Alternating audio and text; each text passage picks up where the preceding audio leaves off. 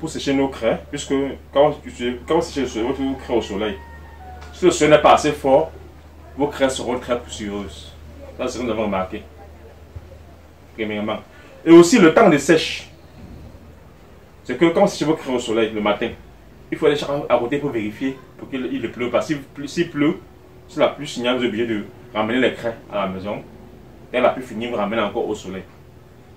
Le lendemain, le soir, venez vous, vous, ramenez vos craies à la maison. Le lendemain matin, vous reportez, vous ramenez au soleil. Trop de tracasseries. Si le soleil n'est pas assez abondant, vous allez vous trouver à sécher vos craies au moins, vous allez vous trouver à sécher vos vraiment pendant 5, 6, 7 jours. Tout cela, ça dégrade la qualité de la crème. Vous allez voir, à un moment donné, la crème va essayer de noircir. Et aussi, ça va augmenter le taux de casse. Donc, il y aura tout de cassé.